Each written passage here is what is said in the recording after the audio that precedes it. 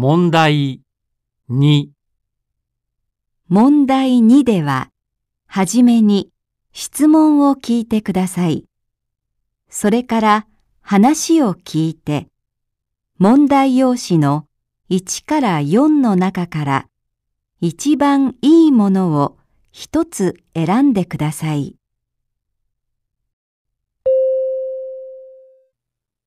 1番男の人と女の人が話しています。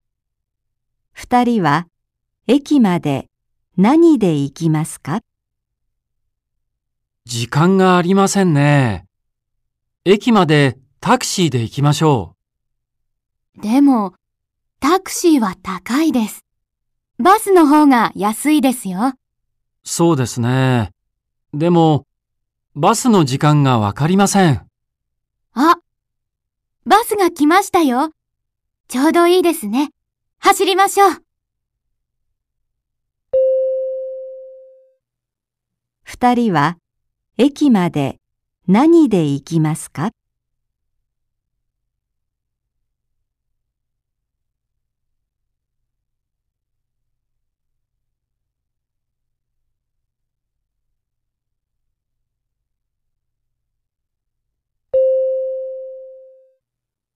2番天気予報を聞いています。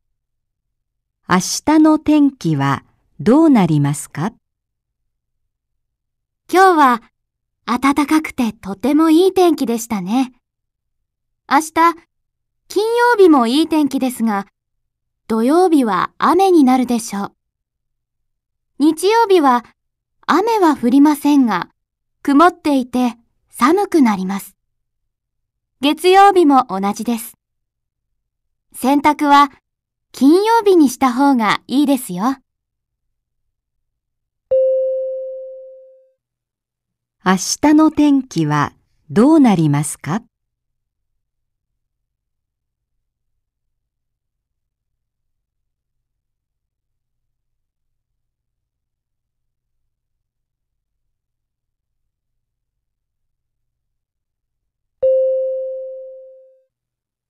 3番学校で女の人と男の人が話しています。女の人の家の近くに何がありますか？佐藤さんの家は学校に近くていいですね。うちは遠いので大変です。でも、近くにお店がないので、買い物が大変です。私もそうです。家の近くにお店が欲しいですよね。でも、山田さんの家は駅に近いから便利でしょ？女の人の家の近くに何がありますか？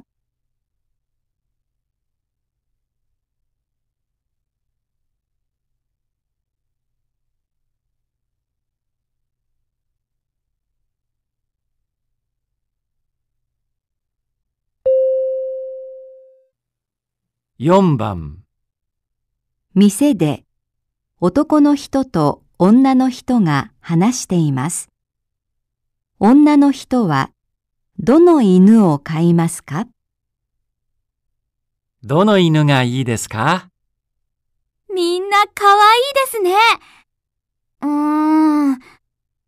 あの子、いいですね。足が短いの。ああ、あれですね。白いの。ええ。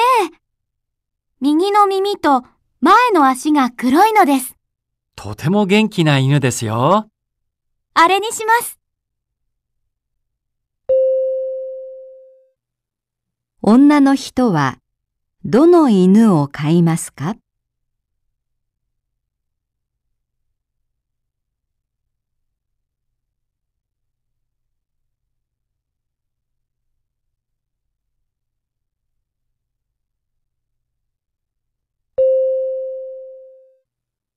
5番女の人と男の人が話しています。女の人は昨日何をしましたか？女の人です。昨日は雨でしたね。ええ日曜日はいつも散歩をしたり洗濯をしたりしますが、昨日は雨だからできませんでした。だから朝から晩まで家で勉強していましたよ。私もそうです。ああ、でも、夕方買い物に行きましたけど、女の人は昨日何をしましたか？